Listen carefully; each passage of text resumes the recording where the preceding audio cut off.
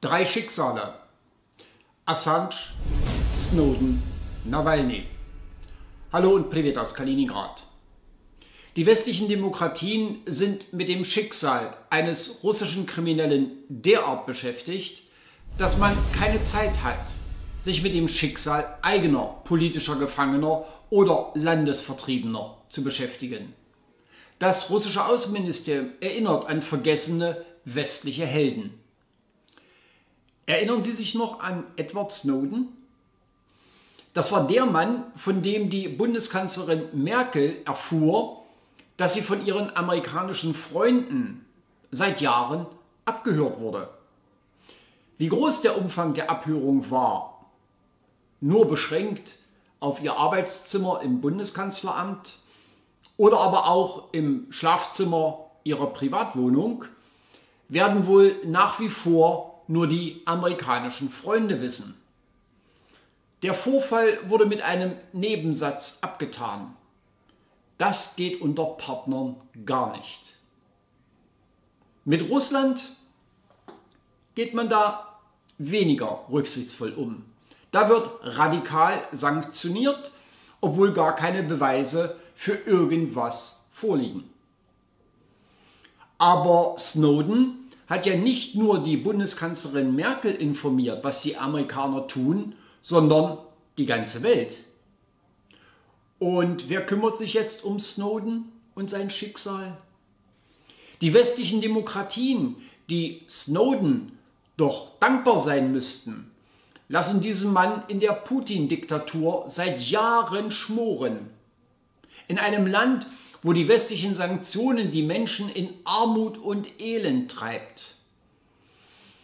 Und Snowden vermutlich wie in den Kriegsjahren nur eine rationierte Brotmenge täglich erhält und natürlich ohne medizinische Hilfe ein kärgliches Leben fristet, zwangsgetrennt von seiner Familie.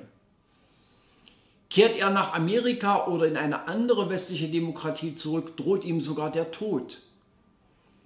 Aber es interessiert niemanden, denn die westlichen Demokratien sind mit einem russischen Kriminellen beschäftigt. Und wer ist Assange? War das nicht der Mann, der Verbrechen der USA gegen die Menschlichkeit öffentlich gemacht hat? Jahre hat er in einem Botschaftszimmer einer Luxusgefängniszelle zubringen müssen, da westliche Demokratien keine Zeit hatten, sich um das Schicksal dieses Mannes zu kümmern. Und auch jetzt, wo der Mann in einem realen Gefängnis sitzt und auf seine Auslieferung in die USA wartet, wo ihm der Tod droht, haben die westlichen Demokratien keine Zeit, sich für das Schicksal dieses Mannes mit dem gleichen Engagement einzusetzen, wie man es für den russischen Kriminellen Nawalny tut. Wenn Russland im Europarat ultimativ die Freilassung von Assange fordern würde, so wie es der Europarat am gestrigen Donnerstag für Nawalny getan hat, wie würde man dort reagieren? Vermutlich gar nicht. Oder man würde irgendeine Blabla-Formulierung für Russland finden und damit wäre die Sache erledigt.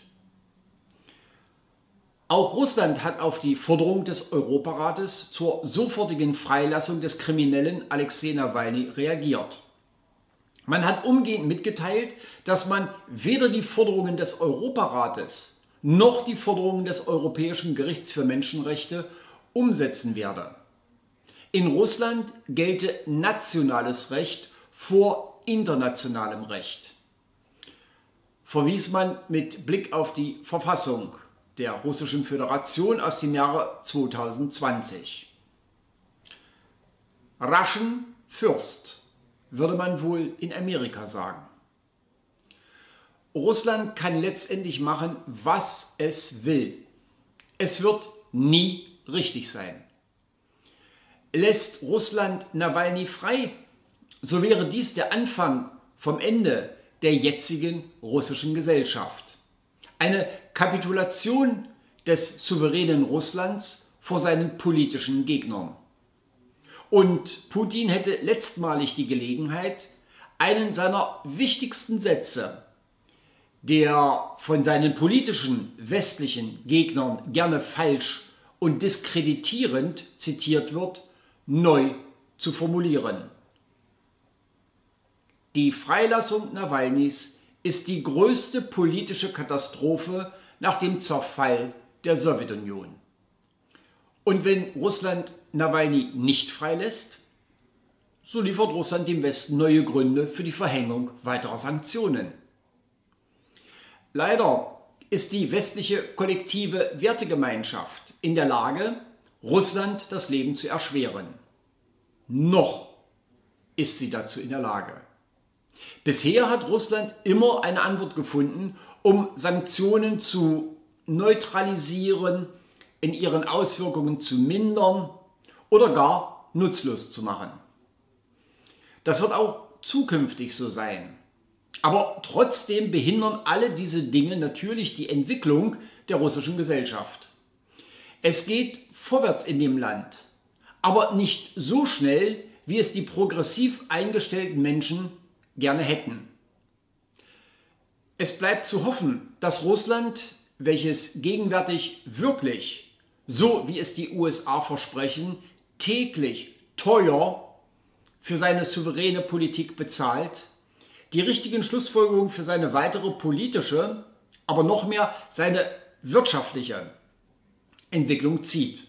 Vermutlich bleibt kein anderer Ausweg, als dass Russland sich wirklich wirtschaftlich völlig neu aufstellt. Um das möglichst schnell zu schaffen, braucht man eigentlich nur den Ratschlag des Ollen Lenin zu befolgen. Erfahrungsaustausch ist die billigste Investition, soll er gesagt haben.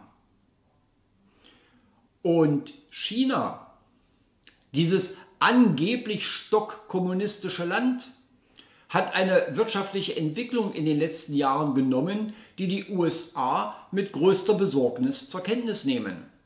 China zwingt sogar die USA an Gesprächstische.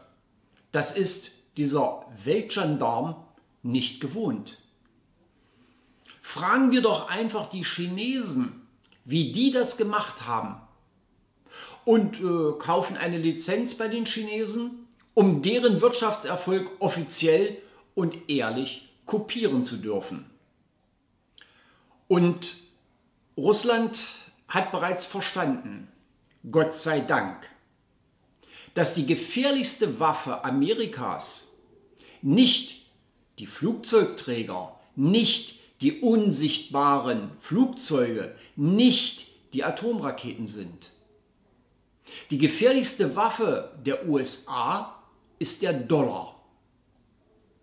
Mit dem jetzigen Rubel wird man den Dollar kaum bekämpfen können. Russland muss sich also etwas anderes einfallen lassen, um den amerikanischen Dollar zu neutralisieren. Es muss doch möglich sein, Mathematik, Finanz- und Börsenspezialisten zu finden oder auszubilden, die nach den Gesetzen der USA den Dollar zu Fall bringen.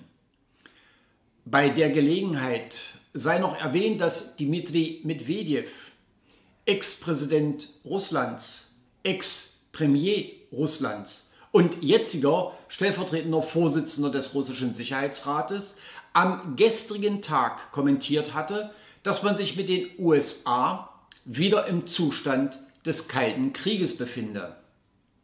Nur gut, dass wir das, was wir ja eigentlich schon längst selber bemerkt haben, nun auch offiziell bestätigt bekamen.